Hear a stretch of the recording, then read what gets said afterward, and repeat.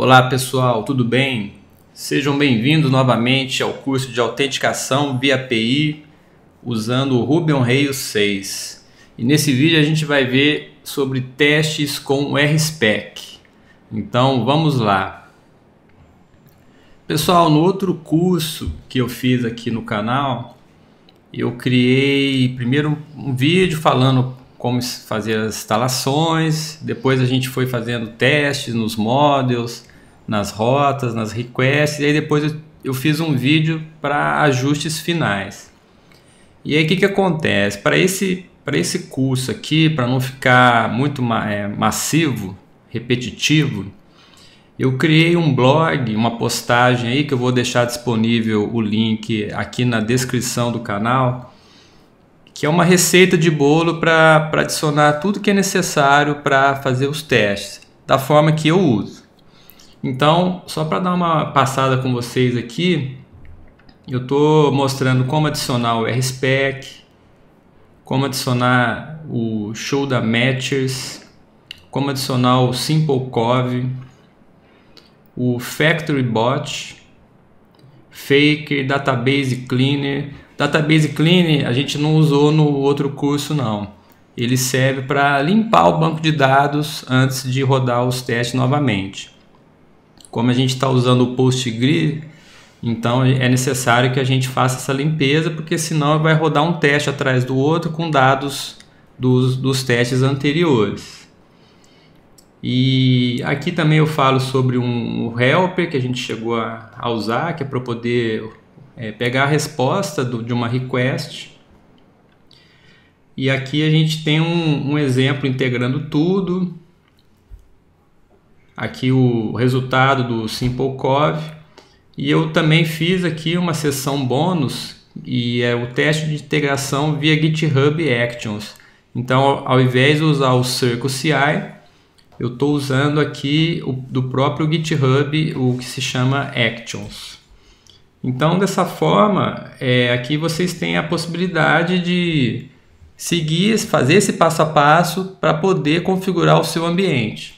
Então esse vídeo vai ser um pouco mais é, demonstrativo, explicativo do, do que eu fiz para que os testes incorporassem bem o, o cenário nosso de device token auth. Então o meu repositório ele já está atualizado também no, no GitHub. E aqui eu coloquei as informações, a descrição, as informações gerais os testes rodando também, eu coloquei a, a do, do GitHub Actions. Então vou mostrar um pouquinho do projeto, o que, o que, que, eu, o que, que eu fiz para mostrar para vocês. Então vamos lá. Aqui a gente tem a nossa pasta spec. Eu vou abrir ela aqui e vou mostrar um pouquinho do que eu já fiz. E aí vocês vão poder depois é, pegar no meu repositório e copiar para o projeto de vocês. Então eu fiz uma seção aqui, uma pasta chamada controllers. Lembrando que como a gente fez o controle de versão nesse, nesse projeto, então eu vou abrir aqui a pasta pp, aumentar um pouquinho, app controllers API, eu tenho a V1 e a V2 do Articles. Lembrando que a gente pode ter versão de model, versão é, de controller, e isso aí vai, quem vai definir é você no seu projeto. Caso ele tenha que ter uma versão distinta por algum motivo que seja. Por exemplo, você está fazendo um, um, um, app que vai para um celular, uma aplicação é, mobile, e quando você faz uma quebra de uma versão para outra, aí você vai gerando V1, V2 e, e, aí por diante. E essa V1 pode ser só no nível do controle e ou model também, serialize e aí por diante. Então, o que, que eu fiz aqui de modificação? No, no Article, é, ele estava antes igual. Então, o V1 e o V2 eles estavam iguais e agora eu fiz só uma distinção. Então, no Article Controller, eu tô, eu tô exigindo que a listagem seja apenas do usuário logado. Então aqui em cima, no Authenticate API User, vai para todo mundo. Já na V2, eu fiz uma alteração. Eu estou falando aqui que a autenticação não vai ser necessária para o index. E aqui eu estou mostrando Article All. Então, é como se a gente pudesse listar todo, todos os artigos de todos os usuários no V2. E no V1, a gente vai poder ver apenas do usuário logado. Essa distinção foi para a gente poder fazer os testes é, distintos para vocês poderem ver no exemplo como é que funciona isso. Então, voltando aqui na pasta spec, eu tenho então em controles, então eu tenho aqui na minha API a V1 e a V2. A única coisa que eu fiz aqui foi usar essa, esse teste em que ele verifica se o Before Action Authenticate API Uses está sendo usado, tanto para o V1 quanto para o V2.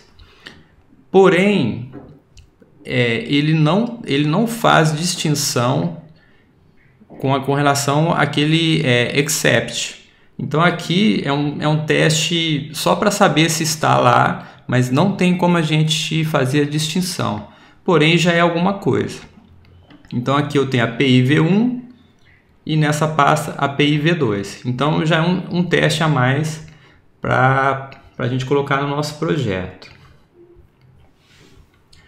Olhando aqui a pasta de Factories, então eu tenho aqui a pasta de Users, é, o arquivo Users, e aí nele eu estou definindo e-mail, então eu usei aqui o Faker, então ele vai gerar um, um e-mail para mim, eu quero também um nome, o ID ele vai ser o próprio e-mail.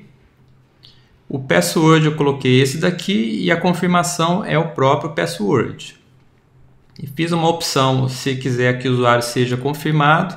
Então é como a gente fazer alguma operação com o usuário confirmado, que na verdade ele preenche o confirmed at.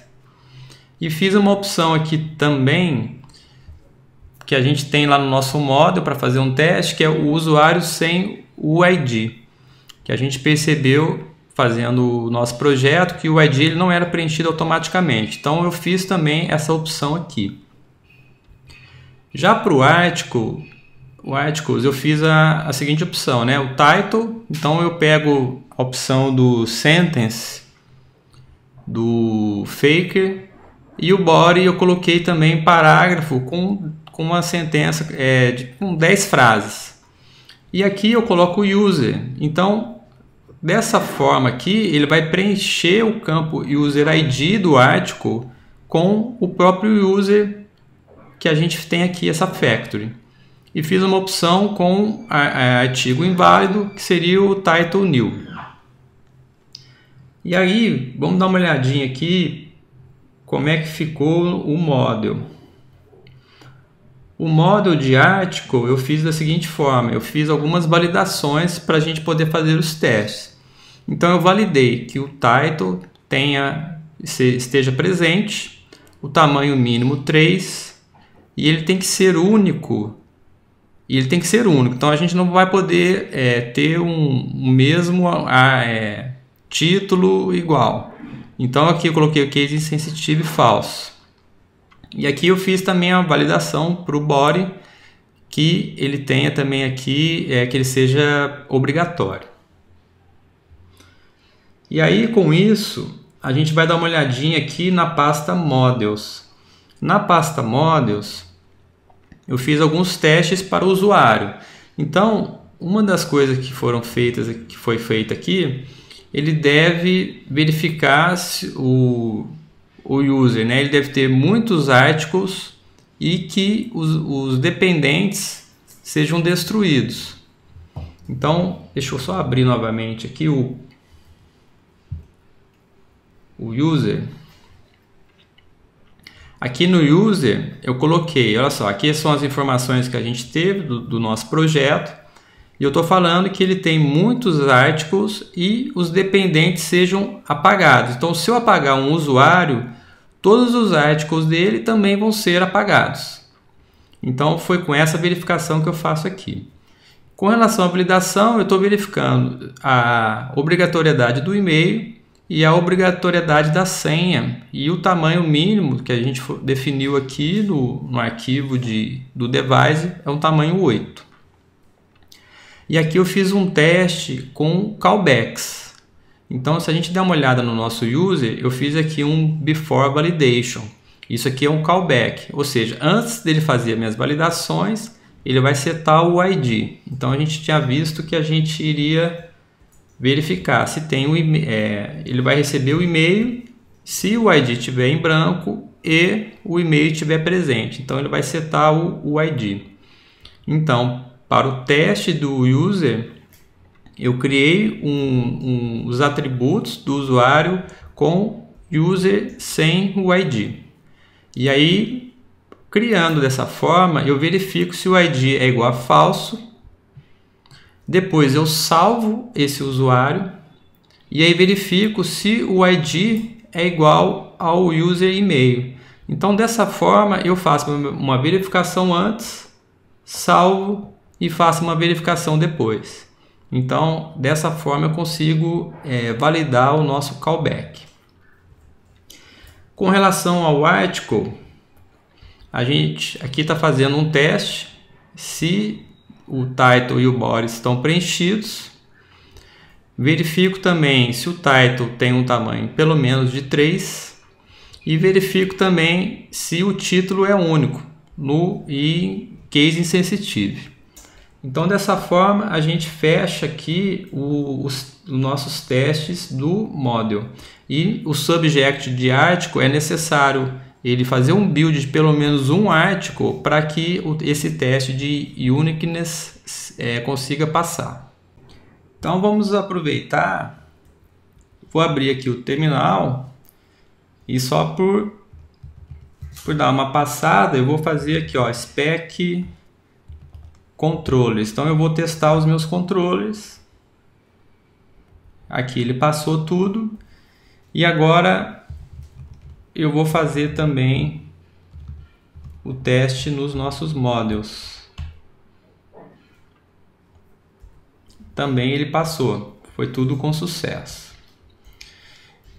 Então agora vamos fazer o seguinte, ó. Vamos dar uma olhadinha nas rotas.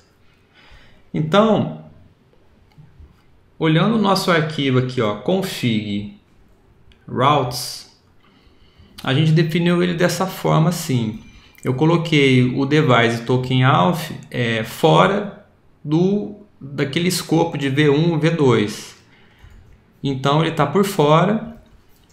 E aí com, com isso eu estou fazendo aqui os testes de rota da seguinte forma. Eu, eu coloco na raiz todos os testes referentes às, à API que a gente testou do device token auth. Então, por exemplo, a gente tem aqui ó, confirmation. Então, para a gente fazer a confirmação, a gente está usando este caminho. E o esperado é que ele vai, ele vai usar o confirmations controller e a ação create format JSON. Isso daqui, vou dar um Vou abrir o terminal aqui só para vocês verem. Se a gente rodar o comando Rails routes, aqui ele não é tão amigável de se enxergar, mas e aí eu vou pegar essa primeira opção aqui, que é a de session, para ficar um pouquinho mais fácil. Então deixa eu abrir aqui, olha só, o meu teste de session. Então, olha lá, ele, tá, ele aponta para API Auth Sign In, que é essa opção aqui, é um post que faz API Auth Sign In. E aqui embaixo ele está dizendo para onde que ele vai apontar. No caso ele vai apontar para Sessions Create. Então Sessions é o nome do nosso controller e o Create é o método da nossa action. Então aqui eu uso Sessions Controller. Da mesma forma, olhando o que a gente estava olhando antes ali, a gente vai poder fazer para todos os outros. Patch da senha, a gente vai fazer post para criar uma senha e aí, aí, por diante. Então aqui ele vai sempre mostrar para você qual controle vai ser usado. Então aqui é só uma explicação para vocês saberem que essa informação de Sessions Control eu peguei dali. Então eu estou fazendo aqui meu session, o post é para fazer o login e o delete para poder sair. Então com isso eu fiz aqui o te todos os testes das rotas do device token auth. Aqui, por exemplo, token validation. Então ele vai fazer um get para essa URL e para onde ele deve ir. Então todas as informações a gente consegue no Rails Routes. Agora, já na pasta, aqui eu fiz na pasta V2 apenas, porque a V1 e a V2 não, não tem diferença alguma. Então aqui eu fiz os testes da seguinte forma, né? Eu fui colocando o endpoint para onde que ele apontava e a gente tem que colocar o formato JSON, porque a gente está trabalhando com API. Aí, pessoal, o que, que acontece? Quando a gente vai rodar os testes de Article pelo fato das nossas rotas terem o modo ter mais de um aqui, eu estava recebendo um erro. Então eu vou, eu, vou, eu vou fazer com que a gente receba o erro de novo para poder explicar o que eu tive que fazer. Então olha só. Eu vou abrir aqui novamente lá, o Articles Route e vou rodar. Então aqui eu vou dar uma limpeza. Rails é, RSpec, spec, routing, API V2. Então aqui ele vai testar o article para nós. Quando eu rodei, ele estava dando erro. E aí o que ele estava reclamando aqui? Ele estava falando que lá no API Constraints, na linha 8, ele tinha um método é, o include ele estava é, ele estava recebendo nulo e estava tentando achar o, include dentro do nulo. Então, quando eu olhei aqui o meu API Constraints, eu verifiquei qual, qual foi o problema. O problema é o seguinte: ou a gente está com default, então se, se eu olhar aqui o, o nosso arquivo de rotas, ele fala o seguinte, ó, usando o API Constraints, o default, se tiver com true, que é no, nesse caso aqui, ele vai então usar tudo que é V2. Caso contrário, ele só usaria esse caso aqui de V1 se a gente passasse no request header a opção accept. Então, quando a gente está fazendo teste de rotas, eu não tenho esse request, eu não tenho como pegar esse request. Então ele estava tentando pegar esse request aqui e vendo e, e a, a, tentando acessar o método include. Então ele, ele deu o problema que o, ele não pode achar o método indefinido método include para nulo. Então isso daqui estava como nulo. E aí o que, que eu fiz para que pudesse funcionar? Eu tive que fazer aqui, na verdade, eu coloquei aqui um, é um e comercial. Com o e-comercial, ele vai fazer uma validação. Isso daqui existe? Se ele existir, aí você inclui, aí você continua a verificação. Senão aqui ele já vai retornar falso diretamente. Então, fazendo dessa forma, vou rodar novamente os testes. Agora ele roda com sucesso. Então, nesse caso aqui, o que, que acontece? ele vai nessa primeira opção, viu que foi falso, aí ele acabou indo para outra opção, que é a opção que quando roda para o V2. Então, neste caso, pessoal, a gente não tem como olhar as rotas do V1. A gente só vai ter como testar as, as rotas do V2. Se por um acaso você precisasse fazer isso, aí teria que fazer algum tipo de contorno para poder aqui, nesse caso, colocar para true, para validar, enfim, mas aí Nesse caso específico de rota, a gente não vai ter como usar isso daqui. Então esse daqui vai retornar falso e ele vai então só usar o do V2, que é o da última. Agora pessoal, vou dar uma limpeza aqui, fechar um pouquinho, só para ficar mais limpo. Então a gente já fechou a rota e agora vamos para as requests. Na, na request, mesma coisa, eu coloquei na na pasta API, na raiz da API, os testes para a gente poder verificar a confirmação com relação à senha. Então a gente pode criar e atualizar, registrar. que aí seria a gente criar um usuário, atualizar e excluir. Com o Session a gente está fazendo um login com, a, com parâmetros válidos, com parâmetros inválidos e também para sair. E a validação do token da mesma forma. Estou fazendo aqui token validation. Aqui eu estou fazendo um teste, ele logado, então ele vai fazer com sucesso. E aqui é uma opção com usuário não logado e aí ele vai retornar que não, a gente não tem autorização. Então tá tranquilo. Então esse aqui é o, é o básico que na verdade para vocês eu sugiro copiar esses arquivos e colocar no seu projeto Device Token Alpha. Então o que está na raiz aqui do request, com relação à, à roda também, porque isso daqui a princípio não vai modificar mas a gen pode ser modificada e então é bom que vocês tenham os testes para poder validar o que vocês estão, o que a gente está esperando hoje. E agora o que, que acontece?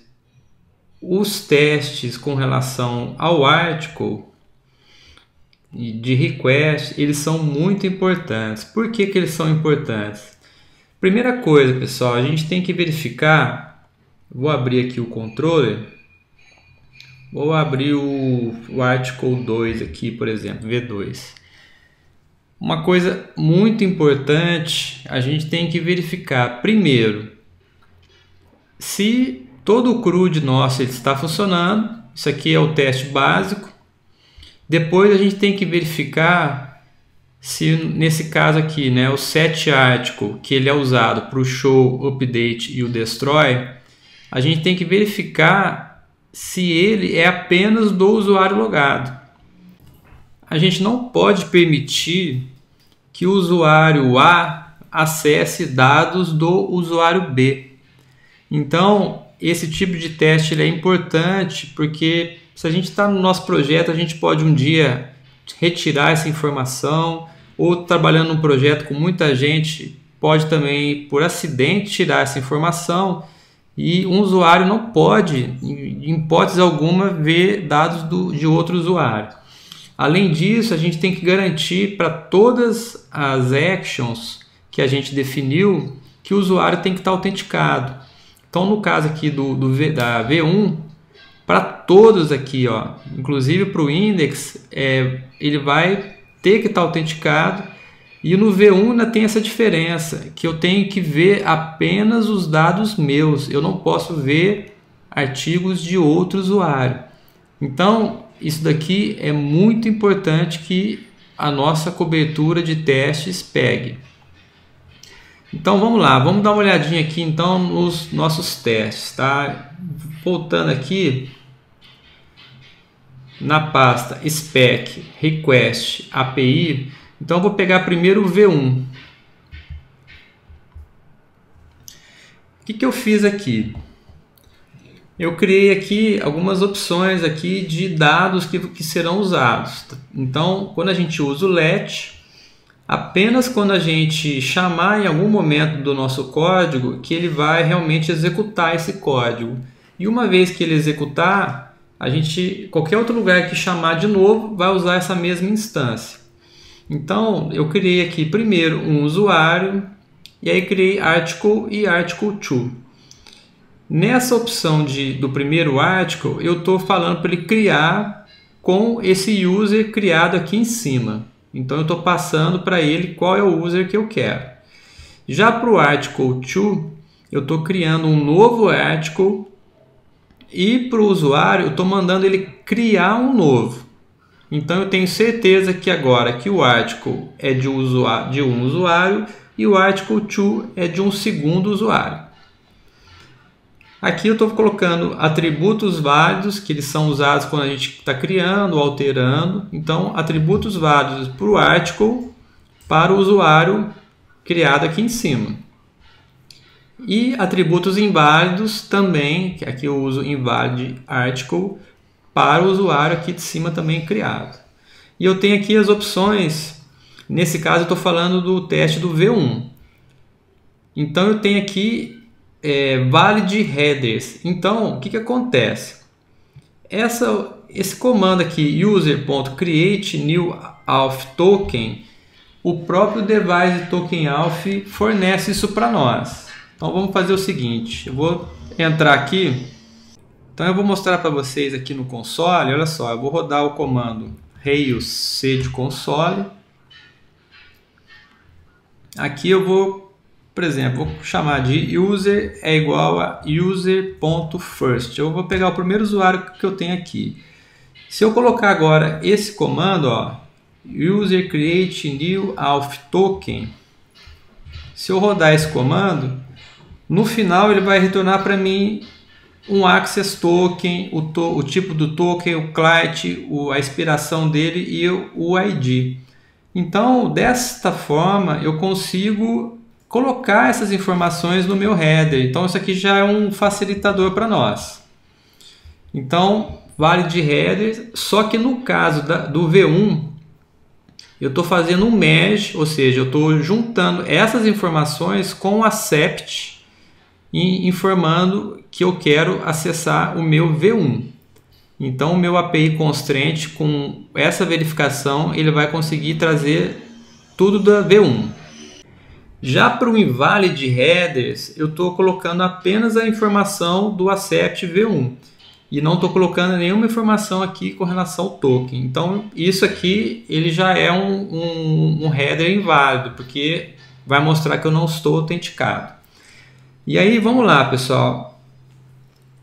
Para ele gerar toda essa estrutura aqui, vou mostrar aqui no console. Na documentação do RSpec, se você já tem, por exemplo, um, um, um controller, um model criado, no RSpec você pode rodar o comando Rails G de generate, aí ele tem a opção, olha só, RSpec. Se eu colocar scaffold article, o RSpec vai gerar para mim os testes de, de rota e de, e, de, e de request. Se eu colocar aqui, por exemplo, model article, ele vai gerar a estrutura inicial do model article para nós. Então, esse aqui é um comando que é bom que vocês saibam que vocês vão poder gerar para ter esses arquivos. Então, com a estrutura básica gerada, eu mantive tudo. Então, vou fazer uma explicação o que, que eu tive que fazer de mudanças. Então, olha só. Aqui eu, eu criei um teste chamado para ele, ó, ele vai renderizar apenas articles do usuário logado. Como que eu vou fazer isso aqui acontecer? Eu tô aqui, ó, quando eu quando eu é, coloco né, article e article to, ele vai executar esses dois aqui. Executando esses dois, então ele vai criar a estrutura para nós. E aí eu estou fazendo um get lá nos meus articles com um header válido e aqui eu estou esperando que o JSON response size seja igual a 1. Ou seja, eu vou, eu vou gerar dois arquivos aqui, dois registros, e vou esperar que ele retorne apenas um, que é do usuário logado. E aí depois ainda eu faço uma verificação para que esse primeiro criado, o ID dele seja igual ao article ID. Então dessa forma eu tenho a certeza que ele está trazendo apenas o article do usuário logado. Aqui eu fiz também o RSpec, ele é bem bacana que a gente pode criar é, testes para serem reusados. Como é que funciona isso? Eu vim aqui na, na pasta suporte, adicionei uma pasta chamada Shared Examples e dentro dela eu criei dois testes que serão, serão reusados. Um eu chamei de Not Found e o outro de Unauthorized Access que é quando a pessoa não, não tem acesso. Então, por exemplo, no Not Found, eu estou dizendo aqui, ó, quando você tenta acessar é, de outro usuário, você vai receber um, um não encontrado. Então, eu vou, eu tenho um ID 1. um outro usuário tem o ID 2, Article 2. Se eu tentar acessar o Article 2, eu vou ter que, que, que receber um não encontrado. Então ele tentou o usuário 1 acessar o dado do usuário 2, eu tenho que receber um não encontrado. E da mesma forma, eu estou dizendo aqui que um usuário não logado vai receber também aqui um, um response de unauthorized. Então ele não está autorizado a acessar um recurso. E perceba que eu tenho aqui uma URL. Essa URL eu vou mostrar para vocês que é como se ela vai vir como um, na verdade, como um parâmetro que vai ser acessado, tá? Então, nessa pasta então a gente tem aqui testes que podem ser reusados. Então, vamos aqui, ó. Então, nesse caso, o que, que eu tenho que fazer, ó? A gente Via RSpec a gente vai colocar dessa forma, ó, it behaves like. Então, ele vai ter um comportamento como usuário não logado. Então, um usuário não logado, eu tenho que colocar no header aqui um valor inválido. Então, eu usei o invalid headers, que está aqui em cima. Aqui, ó, invalid headers. E aqui eu montei a minha URL. A URL no caso, é o URL aqui do index. Então, o que, que eu fiz? Eu usei um let URL. Dentro dessa chamada aqui, eu coloquei um do e o end. E aí, dentro dele, eu coloquei ó, let URL. E dessa forma, eu estou aqui, ó, user not logged in. Então, eu vou usar esse mesmo texto aqui e aí eu estou mandando a URL que vai cair aqui, essa URL. Então ele fez a chamada lá para o nosso back-end e aí o back-end retorna essa resposta. Então aqui eu consigo fazer esse teste dessa forma. Então legal. Vamos para o próximo aqui, ó. No show, então tem a primeira opção que é a padrão. E aí eu tenho aqui então, ó, aqui ele está tentando acessar recursos de outro usuário. Então, o que, que eu estou fazendo aqui? Ó, no meu caso, a URL, eu estou tentando acessar do Article 2. Então, vamos nesse primeiro caso aqui, ó, eu tô, ele vai renderizar com sucesso. Então, eu tentei acessar o meu URL passando o article que é do usuário onde eu estou passando o header válido e ele retorna com sucesso. Já nesse teste aqui, a URL que eu estou tentando acessar é do article 2. E aqui eu estou passando o, os headers do usuário 1. E aqui o que, que acontece? Da mesma forma, ó, eu tenho que usar o mesmo texto que eu usei no meu shared aqui, que é esse daqui. Ó. Peraí, é o, é o not found. Trying to access another user resource.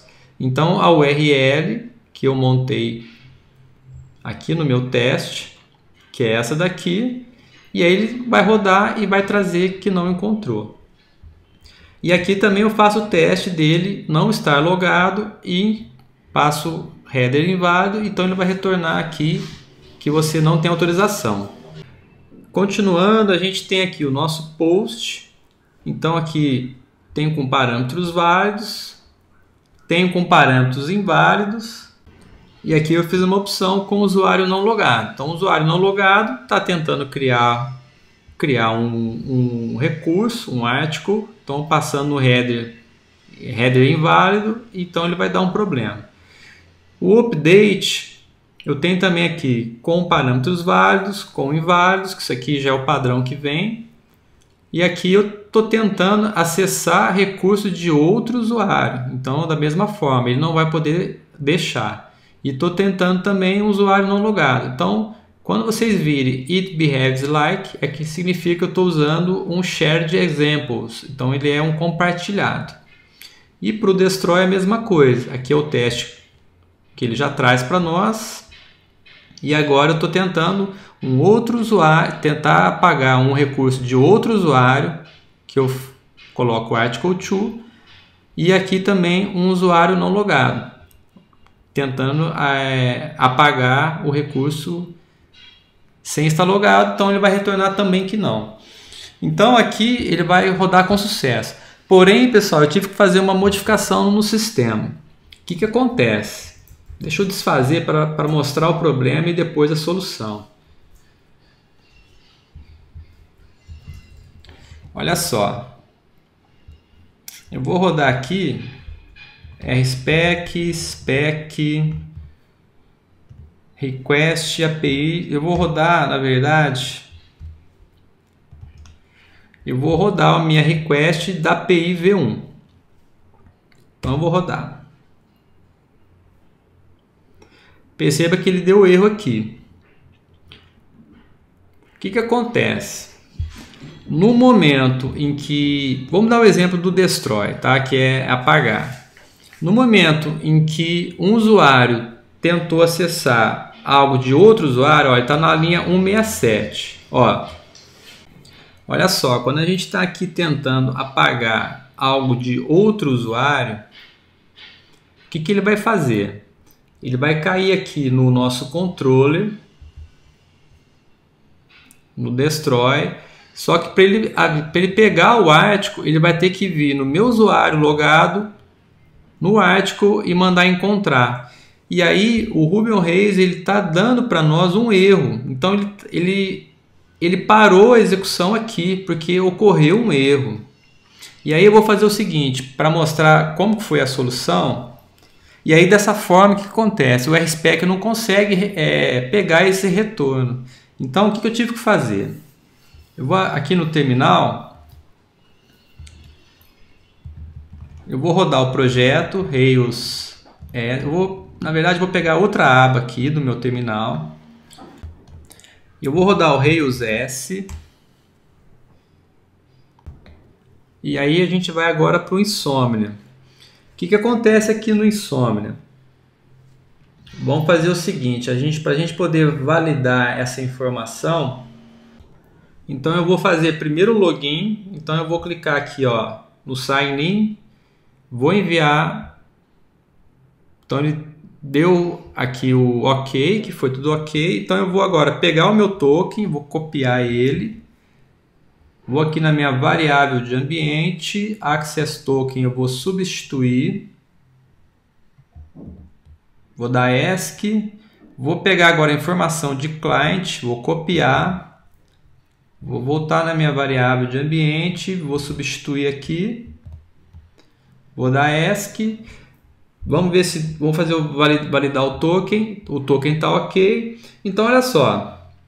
Primeiro eu vou fazer o read. No read eu tenho o 7, o 8 e o 9. O 7 e o 8 são meus. Já o 9 foi um outro que eu criei, de um outro usuário. Então, dessa forma, eu tenho uma opção aqui que não é do usuário logado. Então aqui eu tenho aqui ó, só o read one. No read one, se eu colocar aqui 7, ele vai retornar o 7, que é meu. Se eu colocar 8, ele vai retornar o 8, que também é o meu. Só que se eu colocar o 9, que não é meu, ele estoura um erro. Apesar dele retornar aqui a resposta, se a gente fizer um, um back-end, um front-end, né, eu vou ter uma informação de não encontrado. Porém, pessoal, o response ele está de uma forma que não é bacana. Por quê? Porque ele está mostrando aqui detalhes do nosso projeto.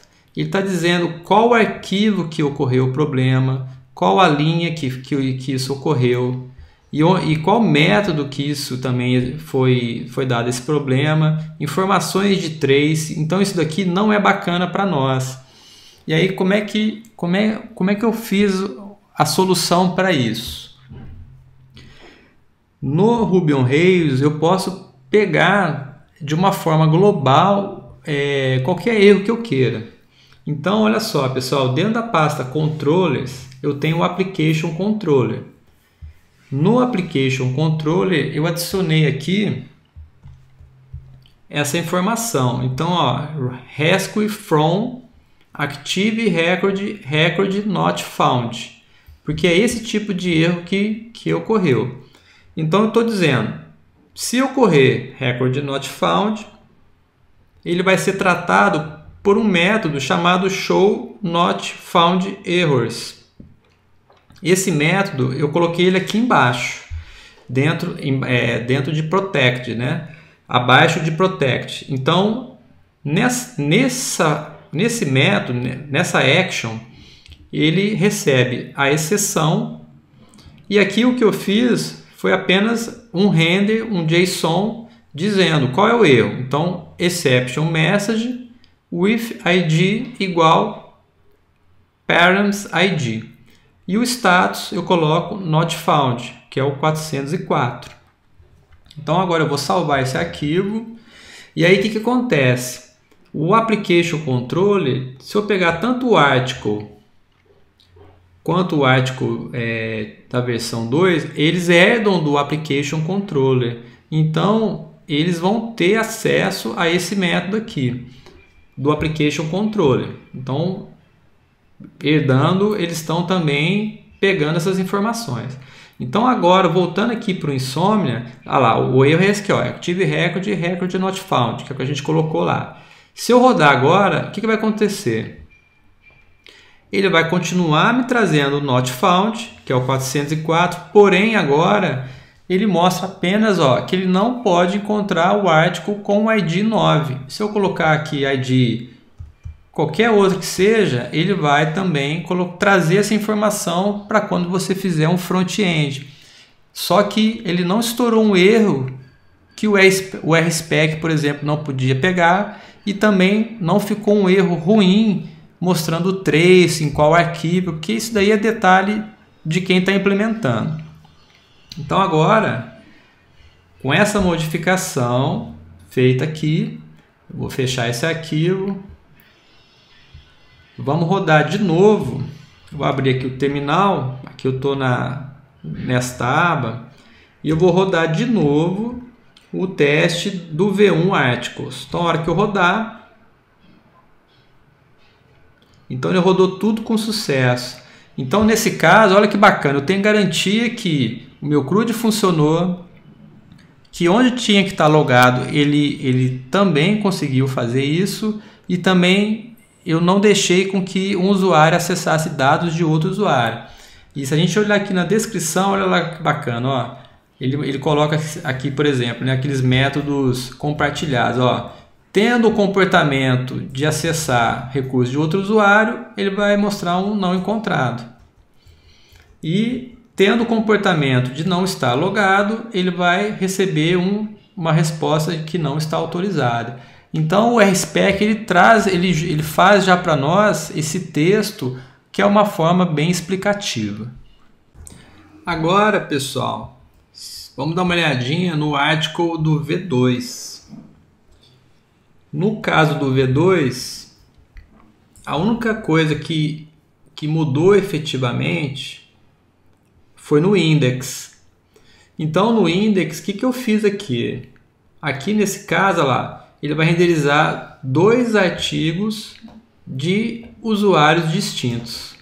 Então, eu estou pegando article e article2 faço uma chamada para o meu index. No caso, eu não preciso passar nada no meu header, porque não tem que ter é, autenticação. Se a gente olhar o article controller para o index, eu não estou obrigando, está autenticado, e aqui eu estou mostrando o article de todo mundo. Então, dessa forma, ele vai, o, o JSON, o response, vai ter um tamanho igual a 2. Então, dessa forma, eu consigo é, mostrar no meu teste que está funcionando, mostrando dados de dois usuários. Então o resto aqui do teste eu não mudei nada. Agora eu vou mostrar uma modificação que eu fiz também, que foi o seguinte, olha só. No nosso initializers, a gente tinha aqui uma opção, desculpa, no environment, em development, lá no final eu tinha adicionado aqui uma informação que agora eu tirei daqui e coloquei no application controle, no, no application, dentro da pasta config application. Essa informação aqui que é o Action Mailer Default URL Options. Então aqui eu estou dizendo que o meu, a minha URL do e-mail é localhost 3000. Essa informação eu tinha colocado ela somente aqui embaixo no development. Porém, pessoal, quando a gente roda os testes, os testes obrigam que a gente também tenha essa informação, porque a gente está usando e-mail no nosso, no, no, nosso projeto, o Device Token Alpha usa. Dessa forma, o application, então, tendo essa informação, ele vai valer para todos os ambientes. Porém, quando a gente está aqui em production, lá no final, eu estou dizendo aqui, lá, o default URL options já é outro. Então é como se, se eu estivesse dizendo assim que eu estou sobrescrevendo. Então, development e teste, eles vão usar esse daqui, que é do application. Quando eu estiver no ambiente de produção, eu estou sobrescrevendo aquela informação. Então, qual vai valer é essa daqui, que é o nosso site de produção. Então, essa informação também tem que ser colocada no projeto para que os testes rodem também é, sem problemas. E uma outra modificação que eu fiz, que é o seguinte, aqui no, no, na pasta dentro de config initializers, eu tenho aqui ó, device token alph e device. Então eu vou abrir o device token alph. O que, que acontece? Deixa eu ver aqui embaixo, olha só. Mais aqui embaixo, eu tenho essa informação, é, default confirm, confirm success URL. Então, o que, que eu tinha feito antes? Antes eu tinha feito aqui um if. If, essa opção, vem para cá, espera aí, deixa eu só mostrar aqui o que, aconteceu.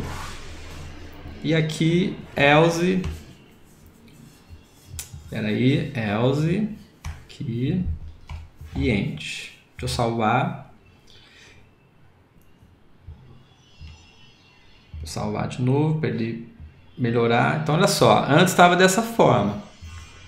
Só que se eu rodar os, os testes, o que, que acontece? Vou rodar aqui, olha só. Vamos abrir aqui. Eu vou rodar os, todos os testes.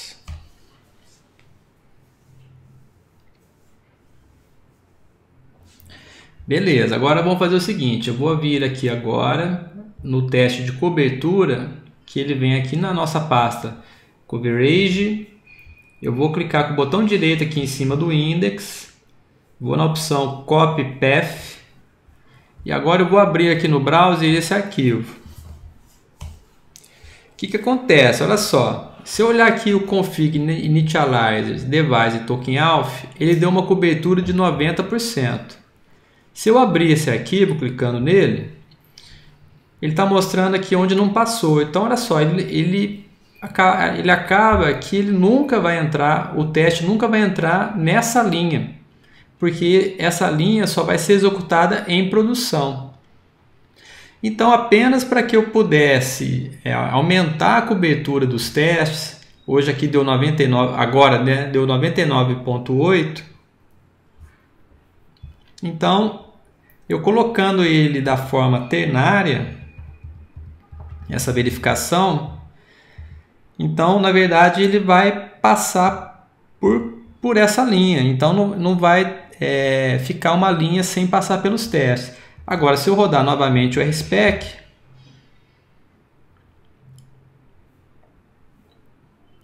se eu voltar aqui agora e der um refresh, atualizar a minha página, agora ele passou 100% por tudo. Então, essa daqui, pessoal, foi mais uma modificação que eu fiz para que os nossos testes passassem por tudo. Então eu fiz aqui tanto no device token alpha quanto no device que essa informação ficou aqui, ó, no mailer sender. Aqui é a mesma forma. Eu tinha feito aquele if e agora eu fiz assim. Ficou um pouquinho ruim porque ficou muito grande a linha, porém eu dei agora preferência do meu teste passar é, passar por uma cobertura maior. E aí, pessoal, para finalizar, eu também adicionei para o projeto os testes rodarem no GitHub Actions. Então, para isso, aqui na pasta config eu adicionei o arquivo chamado database yml e aqui eu criei uma pasta .github, dentro dela workflows, dentro dela um arquivo chamado ruby.yml e aqui, principal é vocês colocarem o nome do branch de vocês lá no GitHub. Então, o meu branch lá se chama main. E também a versão do Ruby on Rails, que está aqui 3.0.0. E aí, dessa forma, quando eu faço o push aqui no meu blog, API, na pasta, na aba Actions, ele roda os testes aqui.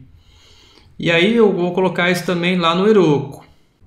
Aqui com o Heroku aberto dentro do meu Curse Blog API, quando a gente está aqui na aba Deploy, eu deixei selecionada essa opção Wait for CI to pass before deploy.